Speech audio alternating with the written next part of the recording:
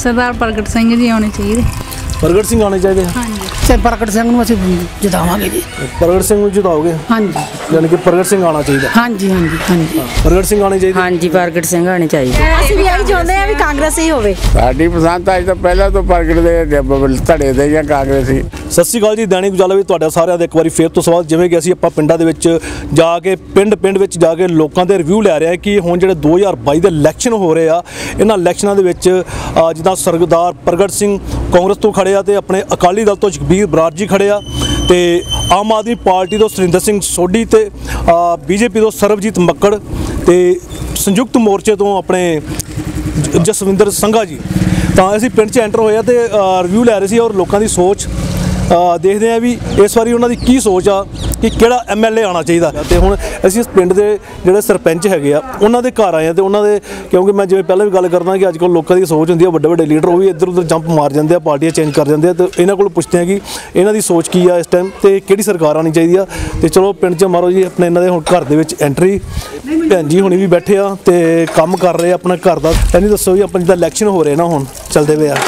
ਤੇ ਸਰਦਾਰ ਪ੍ਰਗਟ ਸਿੰਘ ਖੜੇ ਆ ਆਪਣੇ ਕਾਂਗਰਸ ਤੋਂ ਤੇ ਅਕਾਲੀ ਦਲ ਤੋਂ ਜਗਬੀਰ ਬਰਾੜ ਜੀ ਖੜੇ ਆ ਤੇ ਬੀਜੇਪੀ ਤੋਂ ਸਰਬਜੀਤ ਮੱਕੜ ਤੇ ਆਮ ਆਦਮੀ ਪਾਰਟੀ ਤੋਂ ਸੁਰਿੰਦਰ ਸਿੰਘ ਸੋਢੀ ਤੇ ਸੰਯੁਕਤ ਮੋਰਚੇ ਤੋਂ ਜਸਵਿੰਦਰ ਸੰਘਾ ਜੀ। ਹੁਣ ਤੁਹਾਡੀ ਕੀ ਸੋਚ ਆ ਵੀ ਕਿਹੜੀ ਸਰਕਾਰ ਆਣੀ ਚਾਹੀਦੀ ਆ? ਸਰਦਾਰ ਪ੍ਰਗਟ ਸਿੰਘ ਜੀ ਆਉਣੇ ਚਾਹੀਦੇ। ਪ੍ਰਗਟ ਸਿੰਘ ਆਣੇ ਚਾਹੀਦੇ ਹਾਂਜੀ। ਪ੍ਰਗਟ ਸਿੰਘ ਕਿਉਂ ਆਣੇ ਚਾਹੀਦੇ ਆ?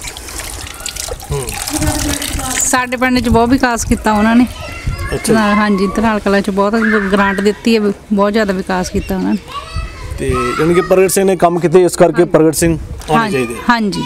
ਇਸ ਪਿੰਡ ਦੇ ਜਿਹੜੇ ਸਰਪੰਚ ਇੱਕ ਲੇਡੀਜ਼ ਵਾਰਡ ਆ ਤੇ ਆਂਟੀ ਹੁਣੀ ਬੈਠੇ ਹੋਏ ਆ ਤੇ ਉਹਨਾਂ ਨਾਲ ਵੀ ਅਸੀਂ ਗੱਲ ਕਰਾਂਗੇ। ਸਤਿ ਸ਼੍ਰੀ ਅਕਾਲ ਜੀ। ਸਤਿ ਸ੍ਰੀ ਅਕਾਲ। ਹਾਂ ਜਿਵੇਂ ਹੁਣ ਇਲੈਕਸ਼ਨ ਹੋ ਰਿਹਾ ਜੀ। ਹਾਂਜੀ। ਹਨਾ? 2022 ਦੇ ਸਾਰੇ ਰਾਜਨੀਤਿਕ ਲੀਡਰ ਪੂਰੀ ਤਰ੍ਹਾਂ ਤਿਆਰੀਆਂ ਕੱਸ ਕੇ ਬੈਠੇ ਹੋਏ ਆ। ਤੁਸੀਂ ਦੱਸੋ ਤੁਹਾਡੀ ਕੀ ਸੋਚ ਆ ਕਿ ਕਿਹਨਾਂ ਨੂੰ ਆਉਣਾ ਚਾਹੀਦਾ? ਅਸੀਂ ਤਾਂ ਜੀ ਚੰਨੀ ਸਰਕਾਰ ਚਾਹੁੰਦੇ ਆ ਕਾਂਗਰਸ ਸਰਕਾਰ। ਵੀ ਸਾਡੇ ਪਿੰਡ ਦਾ ਬਹੁਤ ਵਿਕਾਸ ਹੋਇਆ ਸਾਨੂੰ ਕਲੋਨੀਆਂ ਮਿਲੀਆਂ ਸਾਡੇ ਪਿੰਡ ਬਹੁਤ ਮਦਦ ਕੀਤੀ ਆ। ਗਰੀਬਾਂ ਦੀ। ਤੇ ਵੀ ਚਲੋ ਬਿਜਲੀ ਬਿੱਲ ਮਾਫ ਵੀ ਕੀਤੇ ਆ। ਸਾਰੇ ਕੰਮ ਕੀਤੇ ਆ, ਬਹੁਤ ਵੱਡੇ ਵੱਡੇ ਤੇ ਸਾਡੇ ਪਿੰਡ ਦਾ ਬਹੁਤ ਵਿਕਾਸ ਹੋਇਆ। ਸਾਨੂੰ ਗ੍ਰਾਂਟ ਬਹੁਤ ਮਿਲੀਆਂ ਆ ਸਾਡੇ ਪਿੰਡ ਨੂੰ।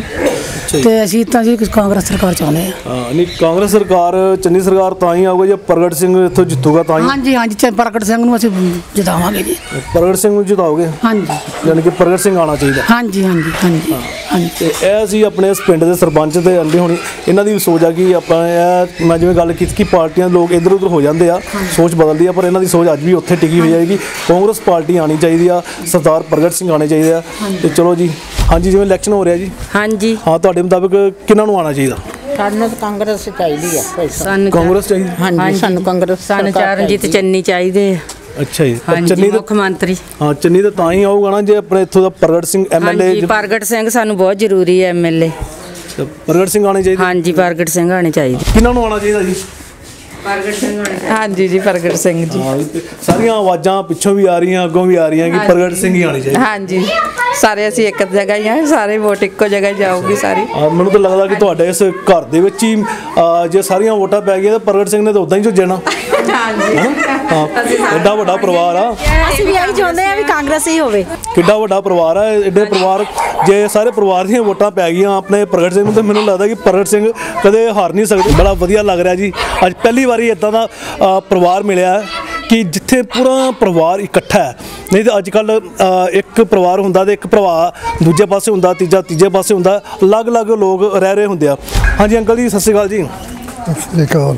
ਹਾਂਜੀ ਹੁਣ ਤੁਸੀਂ ਦੱਸੋ ਸਰਕਾਰ ਕਿਹੜੀ ਆਣੀ ਚਾਹੀਦੀ ਆ? ਸਰਕਾਰ ਦੇਖੋ ਜੀ ਹੁਣ ਆਪਾਂ ਚਾਹੁੰਦੇ ਹੋਈ ਆ ਕਾਂਗਰਸ ਹੀ ਕਾਂਗਰਸ? ਠੀਕ ਆ। ਤੁਸੀਂ ਵੀ ਲੱਗਦਾ ਸ਼ੁਰੂ ਤੋਂ ਕਾਂਗਰਸ ਦੇ ਨਾਲ ਹੀ ਜੁੜੇ ਹੋ? ਹਾਂ ਕਾਂਗਰਸ। ਕਾਂਗਰਸ ਨੂੰ ਹੀ ਲੱਗਦਾ ਤੁਹਾਡੀ ਵੋਟ ਪੈ ਰਹੀ ਆ। ਸਾਡੀ ਪਸੰਦ ਤਾਂ ਅੱਜ ਤੋਂ ਪਹਿਲਾਂ ਤੋਂ ਪ੍ਰਗਟ ਦੇ ਧੜੇ ਦੇ ਜਾਂ ਕਾਂਗਰਸੀ। ਕਾਂਗਰਸ ਨੂੰ ਪਾਓਗੇ ਤੁਸੀਂ? ਹਾਂਜੀ। ਪ੍ਰਗਟ ਆਉਣਾ ਚਾਹੀਦਾ। ਹਾਂ।